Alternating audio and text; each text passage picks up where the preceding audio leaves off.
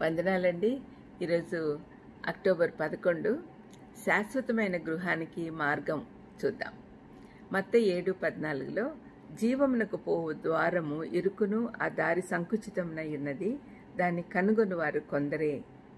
నిత్య జీవానికి దారి తీసే ద్వారము ఇరుకైంది అని పిలువబడతా ఉంది దీని అర్థము క్రైస్తవునిగా మారడము కష్టమని కాదు కానీ దేవునితో శాశ్వతంగా జీవించడానికి ఒకే ఒక మార్గం ఉందని మరియు ఆ మార్గంలో నడవాలని నిర్ణయించుకున్న వారు కొద్దిమంది మాత్రమే.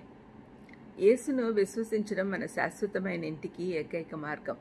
ఎందుకంటే ఆయన మాత్రమే మన పాపముల కొరకు మరణించాడు. దేవుని ఎదుట మనల్ని సరిదిద్దాడు.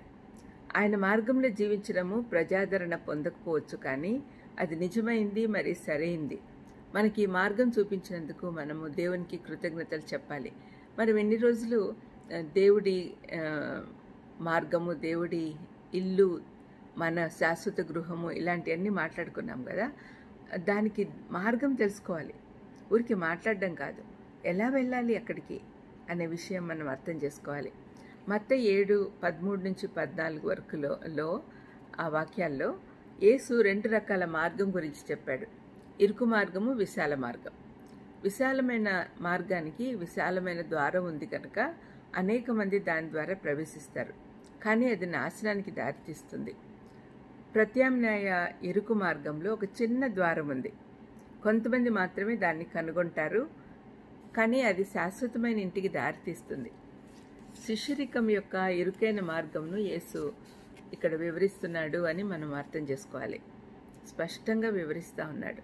విశాలమైన మార్గం అనేది ప్రపంచంలోని సులభమైన ఆకర్షణీయమైన అందరినీ కలుపుకొని ఆనందించే అనుమతించదగిన మరియు స్వీయ ఆధారిత మార్గం. అంటే వాళ్ళంతటి వాళ్ళు బాగా ఎంజాయ్ చేసుకుంటూ ఆనందించే మార్గం అది.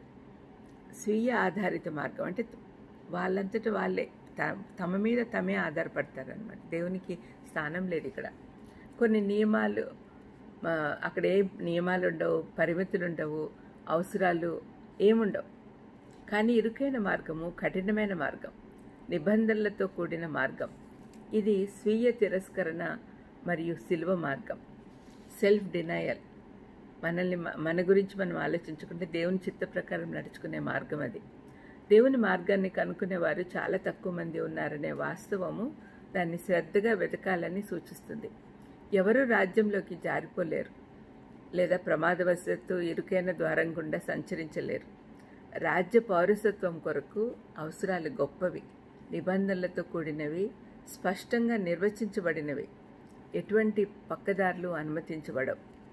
ఇది నిబద్ధత.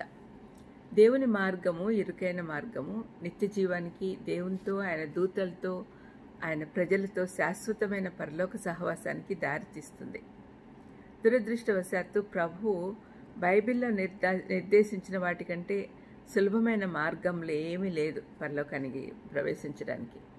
చాలామంది అనుకుంటారు సులభమైన నిబంధనలతో పరలోకం పొందొచ్చని కానీ అది తప్పు. మనమందరం ఇరుకైన మార్గంలో వెళ్ళాల్సిందే అలాగే నిర్ణయించుకుందామా? ప్రార్థన చేసుకుందాం.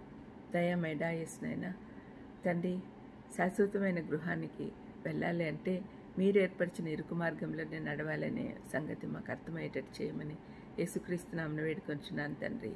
Amen. Amen. God bless ya.